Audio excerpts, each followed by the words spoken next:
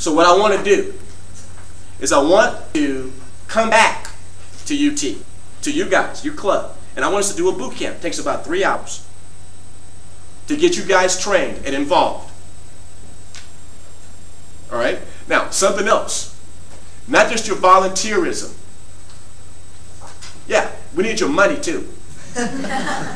yeah, uh, you, can, you can't do it simply on rhetoric and pipe dreams. Look, college kids, hey, we don't, got any, we don't have any money. Hey, on our website, we've got a $1 donation button. That means giving up one beer in a plastic cup, all right? and you can donate to our, to our, yes, it's going to take boots on the ground, and it's going to keep you guys being able to financially help us. Our Travis County Deputy, Kim Chambers, is going to pass around our email list. I'd like for everybody to sign up on the email list. We want to let you guys know what we're doing. I mean, the billboards and all that stuff is great. That's part of our messaging. The TV commercial that we've done, the two TV commercials that released, even right here in Travis County, that's we want to be able to, to take you guys and say, hey, you know what? Your key TV commercial, here's the budget. Do what you want to do on this particular issue. Bring it back to us. Give you a green, we'll make the media buys or whatever. Whatever you want to do. I bet you guys will be awesome at policy development. Solutions. That when we have a candidates for our Texas PAC and Federal PAC, all we have to do is insert them into the solution. Maybe guys will be good at polling. We need folks to be able to do polling. Anybody here that's, that's great? Head up our polling organization. Help us in our polling. Are you good at um, scanning databases and being able to uh, mine for data out of the database and give us information to help candidates to build policy and plan. All that is what we're doing at ragingelephants.org. What we're doing actually is a vacuum that the party at all level hasn't been doing and growing the conservative voting base. If your base is smaller than their base, if our base as Republicans is smaller than the Democratic base, what's the outcome of elections? Talk to me. You lose. If base is smaller than base, and the leadership is only focused on get out the base, what happens?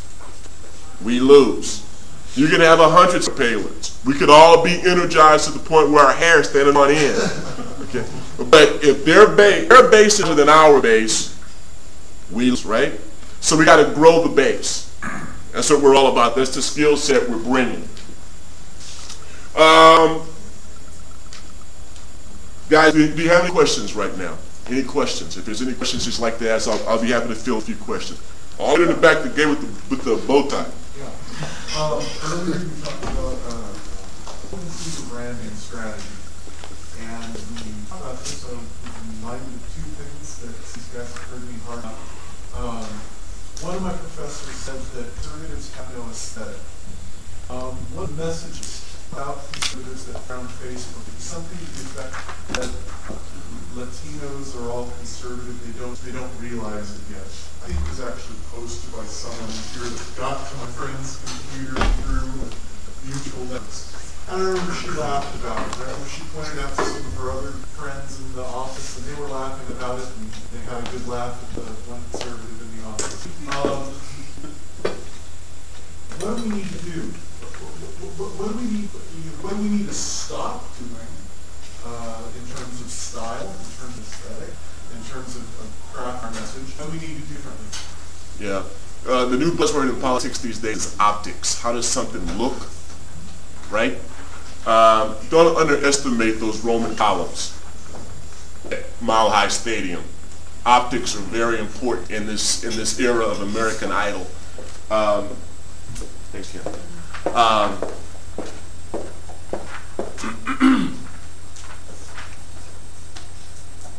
what we have to do, um, we're selling Big Macs, y'all. That's what we're doing. We're selling Big Macs. If, if, if, you, if, you, if you buy a Big Mac in Seattle, or you buy one in Albuquerque, or you buy one in the South Bronx, or you buy one in Toulon, France, they all taste the same. I know I got one in Toulon, France. Taste the same. Taste the same. But if McDonald's wants folks to walk the Golden Arches in Toulon, France, the commercials had been French, right? Are y'all hearing me? Yeah. If one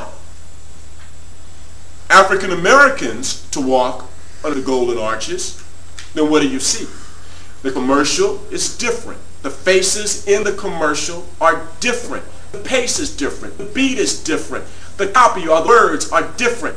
The, you know, the kid cocked to the side, he's getting his swag on the fries. but the issue is they're speaking to that community in a way that they understand. So all we, as conservatives, what do we do? As conservatives, what do we do? We just scream, liberty, liberty, liberty, constitution, constitution, constitution, low taxes, low taxes, low taxes, and we expect people to come forward. No. They don't understand what constitution, liberty, or low taxes means for them. They don't understand that. Be able to craft message to where they under, to help them understand actually what liberty is. They don't know what it is. So thus, when tyranny is rolling down the street, they don't know what that is either. So when, you, when you're crafting your message, you know, you have to understand who your audience is. All right, optics. Right.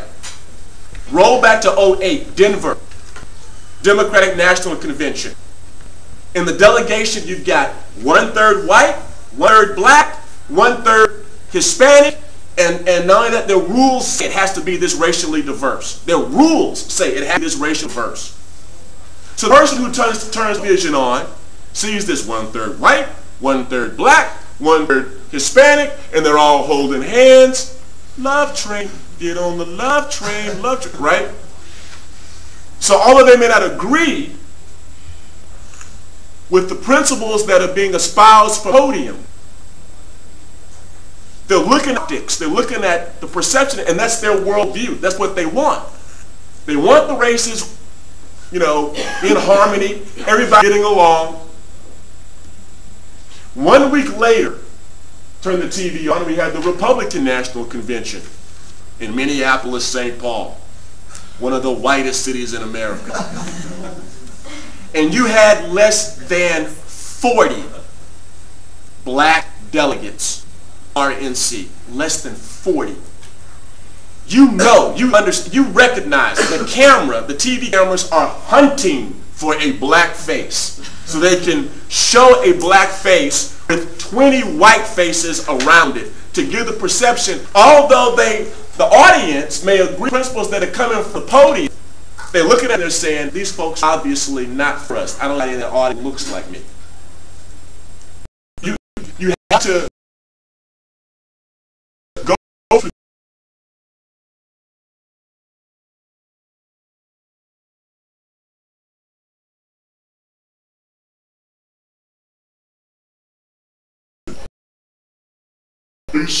by neighborhood walk down the campus of the University of Texas, well, anybody walk down the University of Texas, they automatically think you're a liberal and Democrat. If I walk down the middle of a street anywhere in, in the country because of my skin color, I am automatically assumed to be a Democrat.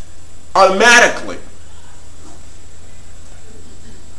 And for most of the people that you would have gone and talked to in communities of color, whether the brown community or the black community, and you were to talk with them, as our numbers are showing, they are conservative. So you have to craft a message. When, when, when, when, when you had Hill Research in the Woodlands doing polling data immediately after 08, where folks of color equate conservatism with racism, they equate conservatism with racism. They equate the GOP with being white supremacist, white only. They actually that. So that once you identify these hidden conservatives in these Democratic precincts, now the work begins of educating. Educating. And letting them know that these folks that you've elected to high office, they don't agree with your values. They're leftist, they're liberal. They come out of out of left. They come out of uh, you know whatever. They, very few of them ever owned a business, have ever served in the military, ever.